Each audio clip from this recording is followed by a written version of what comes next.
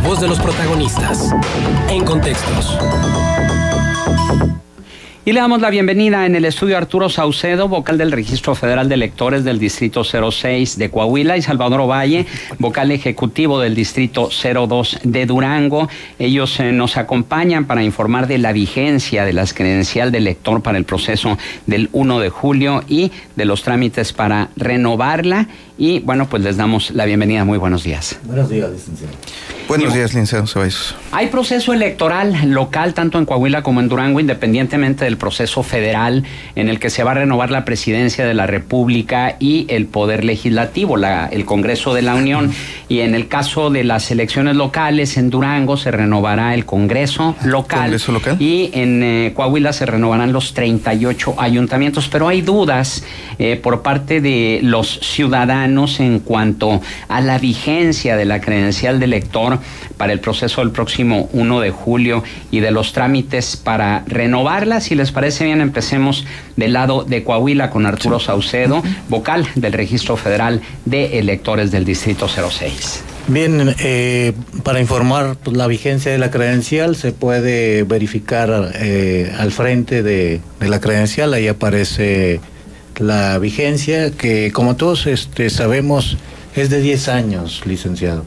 Eh, algunas credenciales traen eh, inclusive Instituto Federal Electoral todavía. Bueno, para tener mayor seguridad hay que verificar en la página del INE, www.ine.mx. Se accesa ahí a la página del INE, eh, se verifica, hay una opción donde se dice, verifica la vigencia de tu credencial y entonces, bueno, pues ahí en, eh, aparece una página y, y nos eh, eh, aparece la leyenda si está vigente la credencial para votar.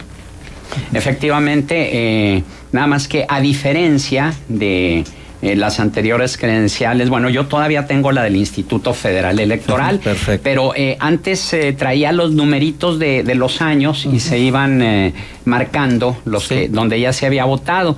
Ahora únicamente trae eh, un, un recuadrito donde dice elecciones federales y eh, también lo que dice locales y extraordinarias. Y ahí se va marcando precisamente la elección que se hizo. Sí. Es necesario que los que tienen todavía su credencial del Instituto Federal Electoral los cambien, la cambien a Instituto Nacional Electoral o va a seguir vigente hasta los 10 años que, que dura. Está vigente los 10 años. Por ejemplo, aquí en, en esta credencial que Sí. usted comenta, dice fecha de emisión 2013, vigencia hasta el 2023. Efectivamente. Y esta credencial pues está vigente y se puede utilizar en la elección del primero de julio. ¿Qué sucede con eh, los ciudadanos que extraviaron su credencial o que tuvieron cambio de domicilio? Eh, los que tuvieron cambio de domicilio pueden votar con la misma credencial en el distrito al que pertenecían antes o cuál es la situación al respecto? Bueno, lo- la, aquí la preferentemente hacer el cambio de domicilio. Tenemos hasta el día 31 de enero del presente año para realizar cualquier tipo de trámite. Preferentemente eh, que haga su cambio de domicilio y bueno, pues le entregaremos una credencial nueva. Sin embargo, bueno, si no quiere, eh, eh, digamos, actualizar esa credencial, pues tendrá que votar en el domicilio que tenía anteriormente. Si es de otro municipio, bueno, pues ahí sí este, puede votar únicamente eh, por alguna de las, de las elecciones, o sea, ya es, es diferente. Esto es en el caso de, de Coahuila, tienen hasta el 31 de enero. En el caso de Durango, ¿cuál es la, la fecha? Sí, la misma situación, licenciado. Tenemos hasta el 31 de enero para hacer cualquier tipo de trámites que afecten la base de datos del padrón electoral. Y ya después tendríamos, se abriría una fecha adicional hasta el 28 de febrero para hacer reposiciones de la credencial. Es decir, si la tiene usted este, maltratada o si se le extravió, pero no implica una modificación en los datos del padrón electoral, se puede hacer al 28 de febrero. Eh, estamos hablando entonces en caso de extravío o en caso de, de que haya, se haya dañado o que haya habido un cambio de domicilio. ¿Qué sucede con los nuevos electores? Los nuevos electores también ya pueden hacer, realizar el trámite, tienen hasta el 31 de, de enero para hacerlo, siempre y cuando al primero de julio te hayan cumplido los 18 años o antes. Esa es la, la condición que se debe. Antes este que ya este que ya tengan cumplido los 18 años desde esta fecha. Desde el día de hoy, a partir del día de hoy. Me voy a permitir leerles un, mensaje que está circulando por, por, redes sociales y que a mí me, me lo enviaron para, para, tratar de aclararlo. Eh, y dice lo siguiente, desde hoy en la mañana está circulando en las redes este mensaje. Buenas tardes, ahí les va la última y muy bien confirmada. Si tu credencial para votar es del IFE, déjame decirte que no se te permitirá votar con ella aun cuando esté vigente. La única con la que se te permitirá votar es la del INE, o sea, la última versión que arriba dice Instituto Nacional Electoral. Me pregunto por qué no han avisado por medio de anuncios en televisión o en periódico. ¿Qué es lo que trama el gobierno? Ojo, señores, no se duerman en sus laureles. Ellos quisieron ser muy abusados y jugarnos chueco. Vamos a revirárselas. Hay que dar por extraviada las que aún tengan la otra del Instituto Federal Electoral. Y así tenemos las dos por si son peras o son manzanas. Ahí les dejo todos los requisitos para que lo hagan, todos los trámites. Lleven los documentos en original, acta de nacimiento, comprobante de domicilio vigente, identificación otra, porque no vamos a llevar la del IFE, comparte, vamos a defender nuestro voto y que únicamente hasta fin de mes es la fecha límite para hacer el trámite. Necesitamos que los medios nos ayuden a forzar una declaración por parte del INE para que aclaren esto. Falta muy poco para poder hacer cambios en nuestra credencial y no todos podrán hacerlos. ¿Cuál es la opinión que les merece y qué de lo que dice esta, este mensaje que circula en redes sociales es cierto? Arturo Saucedo. Bueno, es la precisamente ahorita lo que comentábamos de esta credencial que precisamente acabamos de, leer la vigencia. No, no hay ningún problema. La, credencial, mientras esté vigente, eh, se podrá utilizar el día primero de julio sin ningún problema. Aunque diga IFE. Aunque diga IFE. Eh, sí es importante lo que les comentaba. Hay que verificar la vigencia. ¿Sí? En, en la página de, del INE, www.ine.mx, eh, ahí podemos verificar la vigencia, pues para mayor seguridad.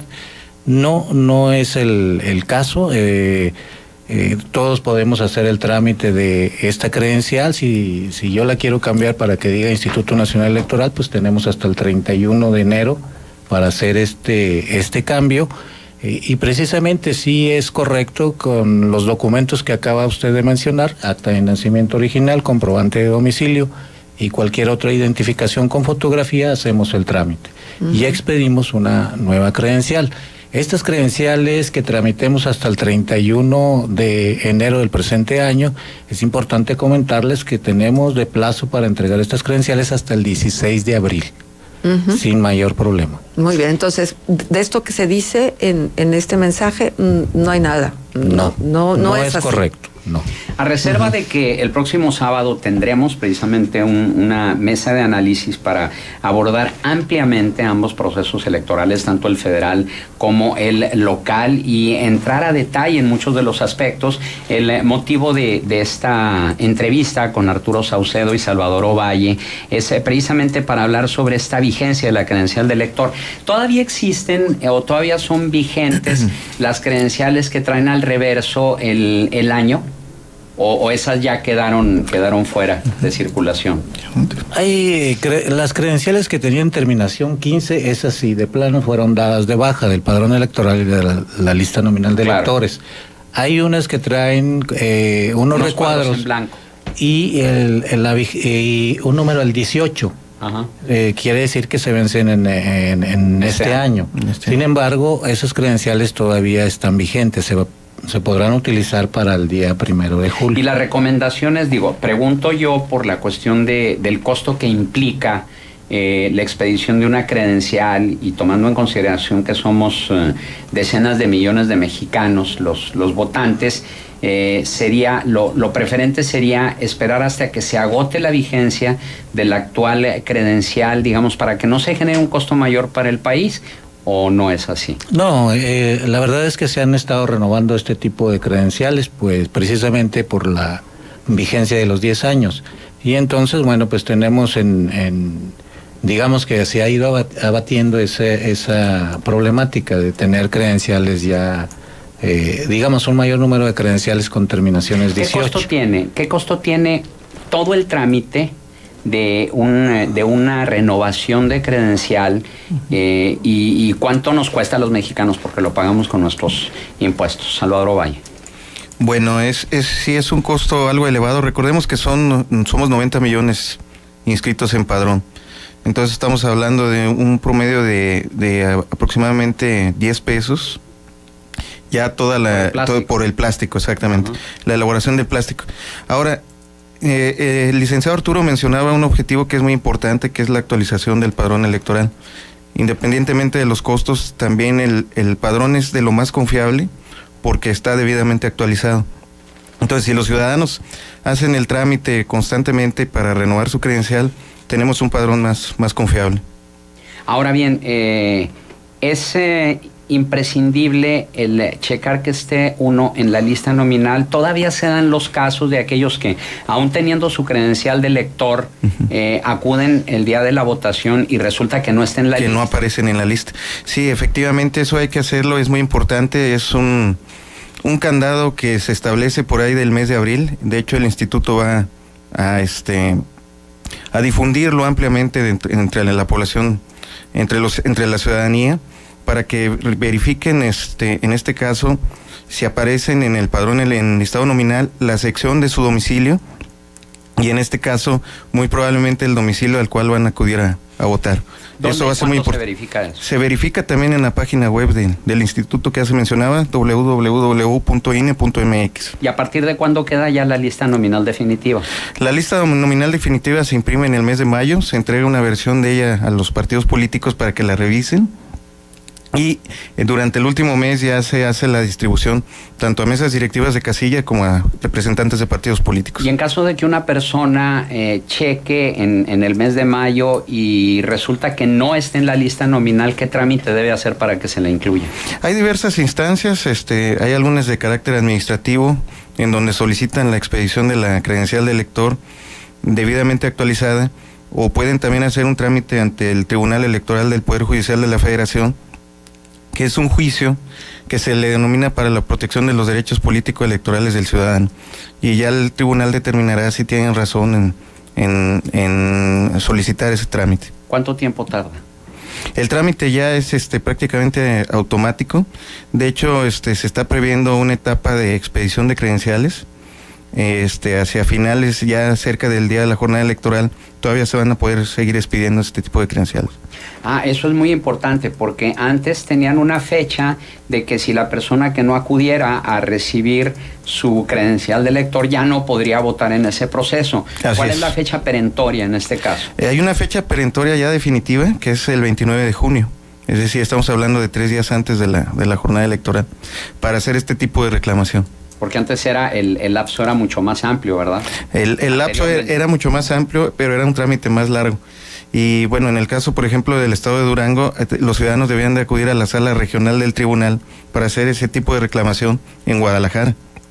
Correcto. Entonces, Sara Alonso se comunica, dice, ¿acaso no es delito tener dos credenciales? Mm. ¿No es delito como se está diciendo en lo que leyeron? Bueno, si se comprueba, sí, sí, sí es delito electoral. Eh, eh, en el caso del padrón electoral solo va a aparecer un solo registro.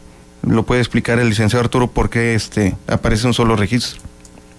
Sí, adelante. Eh, sí, al momento de hacer cualquier trámite de la credencial, por ejemplo, vamos a suponerlo del cambio de domicilio, en automático cuando el ciudadano acude con nosotros a los módulos de atención ciudadana, el registro anterior queda dado de baja. Si el ciudadano posee esa credencial, eh, nosotros le entregamos una nueva, pero él nos la reporta como eh, extraviada, entonces el, el, ciudadano se queda con esas dos credenciales. Ahí puede incurrir en un delito. Hoy se dio a conocer que por primera vez se sancionó el denominado turismo electoral. Esto en el estado de Quintana Roo, que son eh, yucatecos que sacaron su credencial en Quintana Roo para ir a votar por el PRI en el estado de Quintana Roo. Hay la posibilidad, y de hecho algunos partidos políticos denunciaron en eh, anteriores elecciones como habitantes de la ciudad de Coahuila sacaban credencial en Durango y viceversa, habitantes de Durango sacaban en Coahuila e iban a votar. cual si fueran placas. Ah, exactamente. Y eh, eso evidentemente es un delito. Incluso por primera vez en la historia ya se sancionó hasta los mismos ciudadanos que lo, que lo hicieron. ¿Qué candados van a poner aquí en Coahuila y Durango para que eso no suceda? Bueno, eh, hay un programa especial precisamente eh, que se llama de verificar domicilios presuntamente irregulares o esos cambios de domicilio atípicos, le llamamos nosotros. antes de una elección, todos los registros que tenemos en esa, con esa situación se verifican en campo. Es decir, nosotros acudimos a los domicilios que nos están proporcionando los ciudadanos para verificar que efectivamente eh, vivan en ese domicilio. Pero si hay el personal suficiente como para eh, comprobar eh, sí, es un programa que se, que se detona precisamente antes de una elección. Se contrata personal para que se haga esa verificación. Ahora, no, es, no son tantos los registros, licenciado, como se, se comenta. vamos, se detectan en un momento dado por, eh, porque o hacen la, el cambio de domicilio a una sección electoral determinada o a un fraccionamiento y entonces ahí es donde, donde se verifica que efectivamente, bueno, pues el ciudadano esté haciendo ese cambio de domicilio físicamente. Sí, sí se verifica. Tenemos esos programas este, en el instituto y se contrata personal precisamente para que se haga este, esta verificación. Muy bien, pues eh, ah, tenemos más preguntas del auditorio, ya no tenemos tiempo, pero recordarles que el sábado vamos a continuar con el tema electoral, ya hablando más ampliamente. Sí, Arturo. Y nada más, si me permite, licenciado, bueno, pues para dar mayor este, oportunidad a los ciudadanos para que acudan a los módulos de atención ciudadana, vamos a trabajar en esta semana, el sábado y domingo, de 8 a 8 de, la noche en módulos instalados en la Alameda, enfrente de la Alameda Zaragoza y, otro que tenemos instalado en el Boulevard Rodríguez Triana, eh, casi esquina con el Boulevard Revolución, es eh, en una plaza comercial, en Plaza Yumbo. Muy bien, pues eh, muchas gracias Arturo Saucedo y Salvador Ovalle.